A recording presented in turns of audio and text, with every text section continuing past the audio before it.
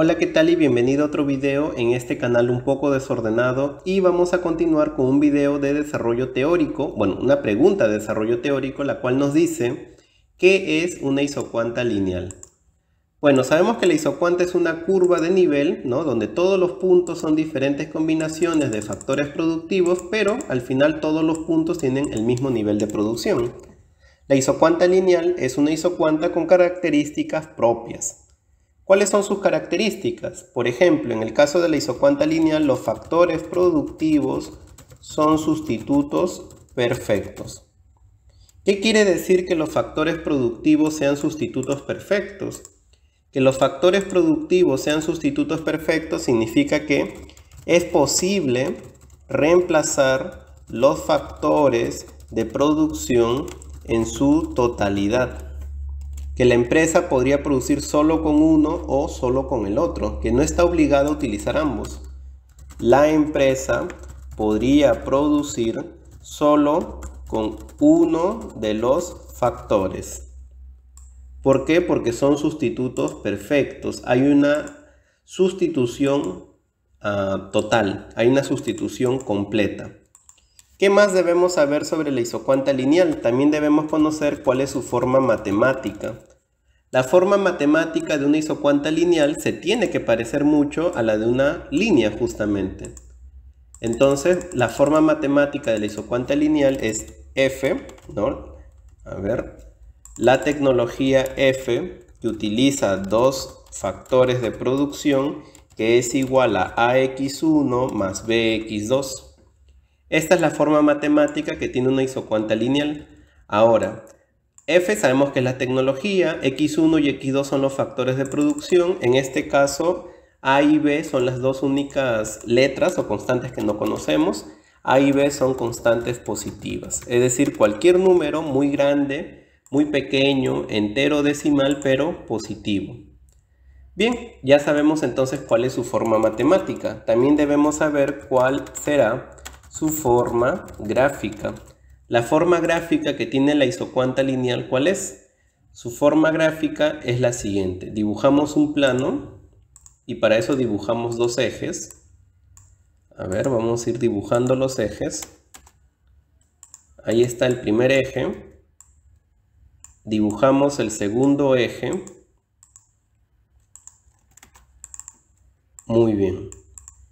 Abajo siempre, ojo, siempre abajo se encontrará el factor 1. ¿sí? Abajo siempre estará por convención, abajo siempre va a estar el factor x1, siempre. Y arriba siempre se encontrará el factor x2. Y obviamente en la esquina inferior se encuentra el origen, que sería el 0, 0, 0. Ya está. La isocuanta lineal, ¿qué forma tiene? La isocuanta lineal tiene justamente esta forma. Es una línea recta con pendiente negativa que se intercepta con ambos ejes, que son las cantidades que se utiliza de cada factor. Esa de allí es la isocuanta lineal. Esa de allí es el f de x1, x2. Ahí lo vamos a señalar. Esa línea justamente representa al f de x1, x2. Ya está. Ahora, ¿Qué es lo que sabemos? Lo que nosotros sabemos es que en esta isocuanta lineal los factores productivos son sustitutos perfectos, que el empresario puede producir solo con uno o solo con el otro. ¿Lo podemos ver en la gráfica? Sí. Por ejemplo, si el empresario decide producir en este extremo de la, de la curva, justo aquí, si el empresario decide producir justo en ese punto, el nivel de producción es el mismo porque es una isocuanta, pero la, cantidad que utiliza de x1, ¿cuánto es? La cantidad de x1 aquí es todo y la cantidad de x2 es 0. No estaríamos utilizando x2. Entonces allí lo vamos a señalar. En esta esquina inferior solo se usa x1. Solo estaríamos utilizando x1. x2 tendría o tomaría el valor de 0. Mientras que en la otra esquina, en el otro extremo, en esta esquina superior, ¿qué es lo que tenemos? Que x1 vale 0 y más bien x2 es el único factor que se utiliza, solo se usa x2. Entonces a eso nos referimos con sustitutos perfectos, que la empresa podría producir solo con un factor o solamente con el otro factor. No está obligada a utilizar los dos factores. ¿Algún ejemplo de una isocuanta lineal en la vida real? Por ejemplo, pensemos en un taller textil, ¿no? Pensemos en un taller textil que confecciona, ¿no? que confecciona polos o camisetas en todo caso, camisetas. Estas pueden ser, ¿sí? Estas pueden ser de algodón, de algodón o de ah, fibra sintética.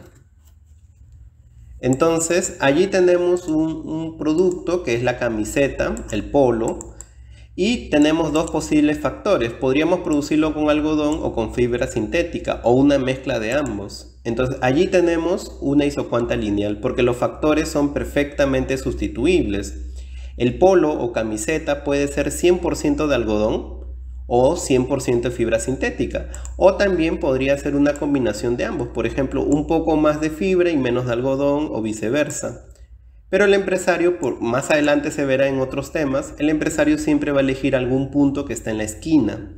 ¿sí? Por eso a veces se le llama soluciones de esquina. Pero en teoría podríamos utilizar solo uno, solo el otro o una combinación de ambos, dependiendo lo que el empresario ah, tome como mejor decisión. Bien, entonces eso es una isocuanta lineal. Espero que el video te haya parecido entretenido y además útil, que sigas visitando el canal, que me regales un like y dejes un comentario y nos vemos en una próxima oportunidad. Chao, chao.